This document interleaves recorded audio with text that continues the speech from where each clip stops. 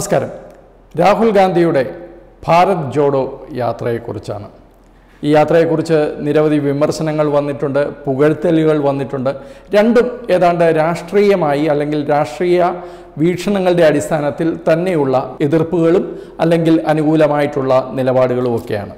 പക്ഷെ ഞാൻ ഇന്നിവിടെ പറയാൻ പോകുന്നത് ഈ വിഷയത്തിൽ രാഹുൽ ഗാന്ധിയുടെ യാത്രയുമായി ബന്ധപ്പെട്ട വിഷയത്തിൽ അധികമാരും ശ്രദ്ധിക്കാത്ത രണ്ട് കാര്യങ്ങളെക്കുറിച്ചാണ്. അതിനു മുമ്പ് തന്നെ ഈ യാത്രയെക്കുറിച്ച് പറയാം. നമുക്ക് എല്ലാവർക്കും അറിയാവുന്ന പോലെ മൂവായിരത്തി അഞ്ഞൂറ്റി എഴുപത് കിലോമീറ്റർ നടക്കാനാണ് ശ്രീ രാഹുൽ ഗാന്ധിയുടെ പരിപാടി അല്ലെങ്കിൽ പദ്ധതി. അത് കന്യാകുമാരിയിൽ നിന്ന് തുടങ്ങി ഏതാണ്ട് ഇന്ത്യയുടെ നടുക്കൂടെ ഒരു വലിയ രേഖ വരച്ചു കഴിഞ്ഞാൽ ആ രേഖ പോകുന്ന ആ രീതിയിൽ തന്നെയാണ് ഈ യാത്രയും ക്രമീകരിച്ചിട്ടുള്ളത്. ഇത് കന്യാകുമാരിയിൽ തുടങ്ങി ശ്രീനഗറിൽ അവസാനിക്കുന്ന തരത്തിലാണ് ഈ യാത്ര.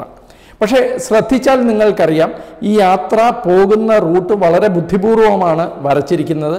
അതിൽ ബി ജെ പി ഭരിക്കുന്ന സംസ്ഥാനങ്ങളിലൂടെ കടക്കുമ്പോൾ കുറഞ്ഞ ദൂരത്തിലൂടെ ആ സംസ്ഥാനം കടന്നു പോകുന്ന രീതിയിലും രാജസ്ഥാൻ പോലെ കോൺഗ്രസ് ഭരിക്കുന്ന അല്ലെങ്കിൽ പഞ്ചാബ് പോലെ ആപ്പ് ഭരിക്കുന്ന മറ്റ് സംസ്ഥാനങ്ങളിൽ കൂടുതൽ ദൂരം താണ്ടുന്ന രീതിയിലൊക്കെയാണ് ആ മാപ്പ് വരച്ചിട്ടുള്ളത്. എന്തായാലും അത് അറിഞ്ഞുകൊണ്ട് ചെയ്താണോ അല്ലയോ എന്ന് നമുക്കറിയില്ല. പക്ഷേ മാപ്പ് ഏതാണ്ട് വരച്ചിരിക്കുന്നത് അങ്ങനെ തന്നെയാണ്.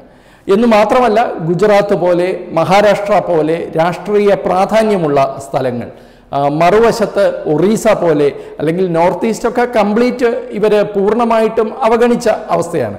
ഇപ്പോൾ ഇതൊന്നുമില്ലാതെ ഭാരതത്തിന്റെ നടുക്കൂടെ മാത്രം നടന്നിട്ട് എങ്ങനെ ഭാരതത്തെ ഒന്നിപ്പിക്കുന്ന ഒരു ഒരു യാത്രയാകും എന്നുള്ള ചോദ്യമുണ്ട്.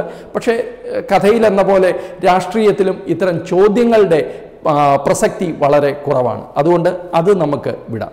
എന്തായാലും ഈ യാത്ര രാഹുൽ ഗാന്ധി നടത്തുന്നത് ഒരു നല്ല ഐഡിയ തന്നെയാണ്. കാരണം കോൺഗ്രസിനെ സംബന്ധിച്ചിടത്തോളം അവർക്ക് വളരെ അത്യാവശ്യമായ ഒരു ഘട്ടത്തിൽ തന്നെയാണ് രാഹുൽ ഗാന്ധി റോഡിലിറങ്ങുന്നത്.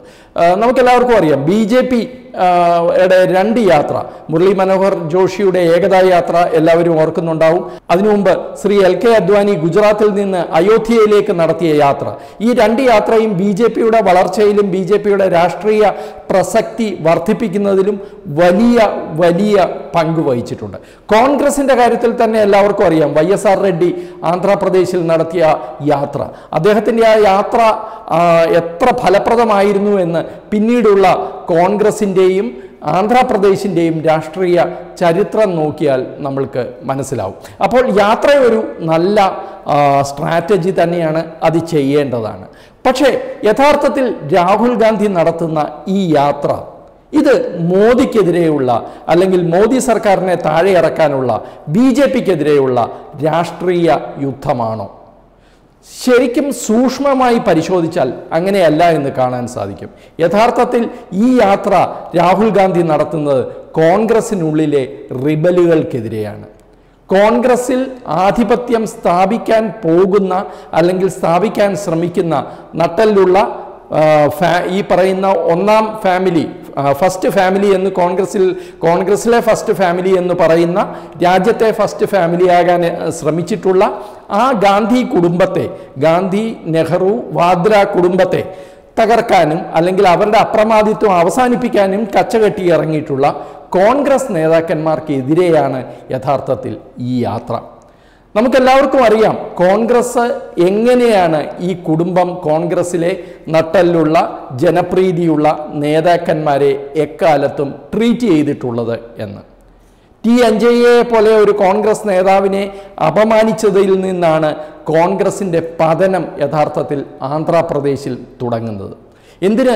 അത് ചരിത്രമാണെങ്കിൽ ഇങ്ങേ അറ്റത്തെ ഏറ്റവും അവസാനം ആസാമിൽ ഒരു വളരെ പ്രധാനപ്പെട്ട ഒരു കോൺഗ്രസ് നേതാവ് അദ്ദേഹത്തിന്റെ പാർട്ടിയുടെയും ആവലാതി പറയാൻ വേണ്ടി രാഹുൽ ഗാന്ധിയുടെ അടുക്കൽ ചെന്നപ്പോൾ പട്ടിക്ക് ബിസ്ക്കറ്റ് കൊടുത്തപ്പോഴാണ് അദ്ദേഹം തിരിച്ചു ചെന്ന് ബി ജെ പിയിൽ ചേർന്നതും പിന്നീട് ആസാമിന്റെ മുഖ്യമന്ത്രിയായി മാറിയതും. അതും സമീപകാല ചരിത്രമാണ്. അപ്പോൾ ഇങ്ങനെ ഒരു ലെഗസി എന്ന് നമ്മൾ പറയുന്ന നട്ടലിലുള്ള ജനപ്രീതിയുള്ള നേതാക്കന്മാരെ ഒഴിച്ചു നിർത്താനോ അപമാനിച്ചിറക്കി വിടാനോ ഉള്ള ഒരു ശ്രമം എപ്പോഴും ഈ ഗാന്ധി കുടുംബം നടത്തിയിട്ടുണ്ട്. അത് ടി. എൻ. ജയ്യയുടെ കാര്യത്തിലുണ്ട് നരസിംഹറാവുവിന്റെ കാര്യത്തിലുണ്ട് അത് കഴിഞ്ഞ് മുന്നോട്ട് വന്നു കഴിഞ്ഞാൽ സീതാറാം കേസരിയുടെ കാര്യത്തിലുണ്ട്. അതേപോലെ ജിതേന്ദ്ര പ്രസാദ എന്ന് പറയുന്ന നേതാവിന്റെ കാര്യത്തിലുണ്ട്. എന്തിനാ നമ്മുടെ കൊച്ചു കേരളത്തിലെ കെ കരുണാകരനെ പോലും അപമാനിക്കുന്നതിൽ ഒരു ബുദ്ധിമുട്ടും ഈ പറയുന്ന ഗാന്ധി കുടുംബത്തിനും ഗാന്ധി കുടുംബത്തിന്റെ സേവകരായി നിന്നുകൊണ്ട് പാർട്ടിയെ നിയന്ത്രിക്കുന്ന ആ ഉപചാപക വൃന്ദത്തിനും ഒരിക്കലും ഉണ്ടായിട്ടില്ല. അവർക്ക് ഒരു ബുദ്ധിമുട്ടോ മനസാക്ഷി കുത്തോ ഇക്കാര്യത്തിൽ ഉണ്ടായിട്ടില്ല. സീതാറാം കേസരി എന്ന് പറയുന്ന എക്കാലത്തും കോൺഗ്രസിന്റെ ഫണ്ട് ആയിരുന്നു. അദ്ദേഹത്തെ എത്രമാത്രം അപമാനിച്ചാണ് കോൺഗ്രസിന്റെ ആ ഹെഡ് ക്വാർട്ടേഴ്സിൽ നിന്ന് ഇറക്കി വിട്ടതെന്ന് നമുക്കറിയാം.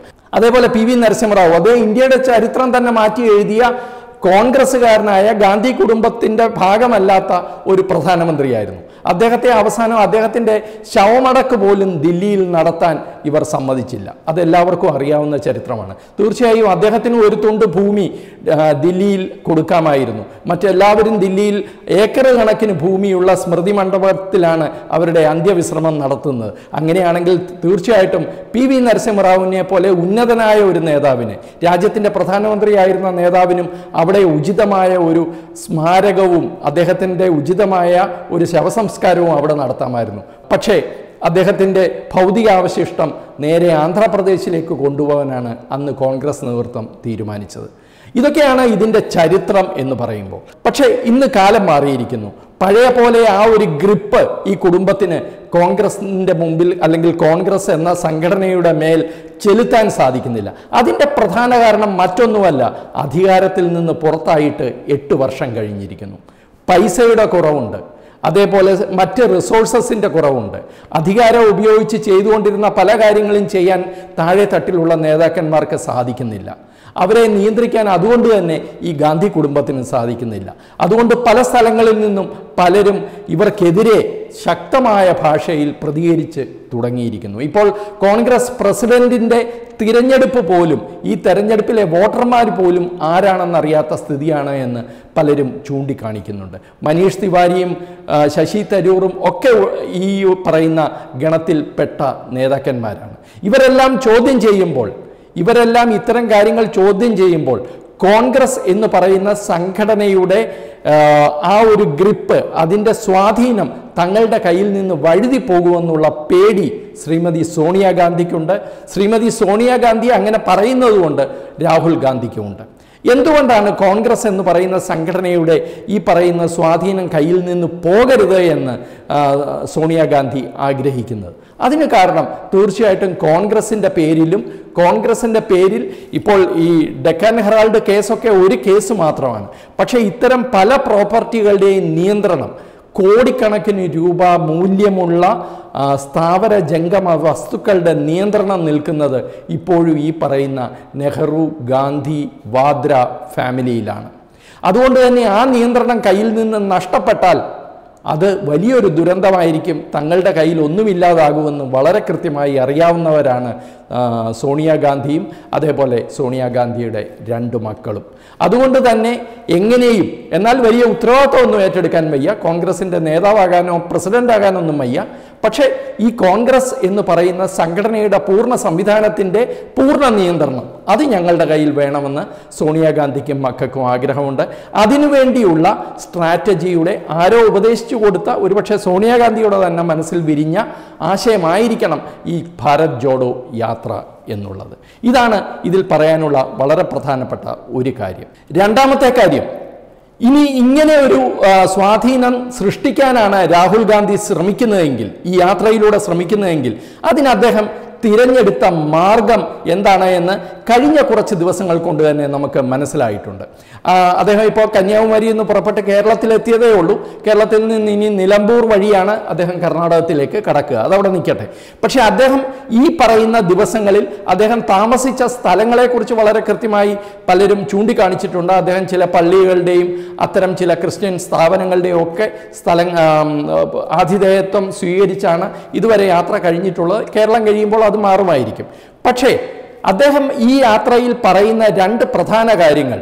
ഇന്ത്യയിൽ ഇന്ന് നിലവിലുള്ള ഫിയർ ആൻഡ് ഹേറ്റ്രഡ് അതായത് ഭയവും വെറുപ്പും ഭയത്തിന്റെയും വെറുപ്പിന്റെയും അന്തരീക്ഷം മാറ്റാൻ വേണ്ടിയിട്ടാണ് അദ്ദേഹം യാത്ര ചെയ്യുന്നത് എന്നാണ്. അങ്ങനെയാണെങ്കിൽ രണ്ട് കാര്യങ്ങൾ ഇതിൽ നിന്ന് അദ്ദേഹത്തോട് ചോദിക്കേണ്ടതുണ്ട്. ആർക്കാണ് യഥാർത്ഥത്തിൽ ഭയം?